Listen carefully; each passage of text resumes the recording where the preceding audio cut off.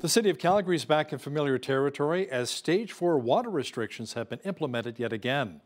Back on June 5th, the Bearspaw South Feeder main burst open, causing flooding and forcing officials to bring in major restrictions throughout the city and surrounding area.